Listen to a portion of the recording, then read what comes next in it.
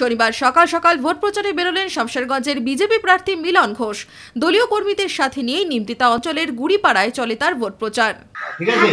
আর যারা চাষি আছে তাদের আঠেরো হাজার টাকা তো আমরা দেবোই। সঙ্গে সঙ্গে প্রতি বছর দশ হাজার টাকা পশ্চিমবঙ্গের জন্য স্পেশাল প্যাকেজ যারা মৎস্যজীবী যারা মাছ টাছ ধরে তাদের প্রতি বছর তাদের যাতে ক্ষয়ক্ষতি না হয় তার জন্য হাজার টাকা করে তাদের যাওয়ার ব্যবস্থা করা মেয়েদের জন্য ফ্রি ব্যবস্থা করা হয়েছে সরকারি বাসে যাওয়ার আসার মেয়েদের তিন হাজার টাকা করে বার্ধক্য ভাতা। মেয়েদের কেজি থেকে পিজি অবধি ফ্রিতে পড়াশোনা করা।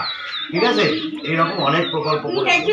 তাই বিজেপি আজকে দুয়ারে দুয়ারে আপনাদের কাছে ভোট চাইছে অন্তত ওই বিজেপিকে ক্ষমতায় নিয়ে আসতে হবে। ঠিক আছে?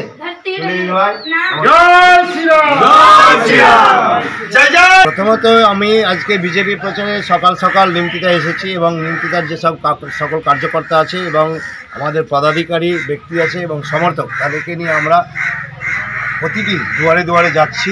মানুষকে বিজেপি যে আজকে ম্যানিফেস্টো, সেটা বুঝাচ্ছি এবং তাদেরকে বিজেপি সরকার আসলে তাদের কি কি সুবিধা রয়েছে, সেই সব জিনিস নিয়ে আমরা প্রত্যেক মানুষের কাছে, প্রত্যেক দুয়ারে যাচ্ছি এবং মানুষকে বিজেপিকে ভোট করার জন্য আহ্বান জানাচ্ছি বা আবেদন জানাচ্ছি।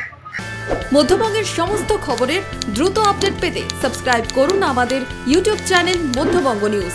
সমস্ত খবরের দ্রুত নোটিফিকেশন পেতে বেল আইকনে ক্লিক করুন।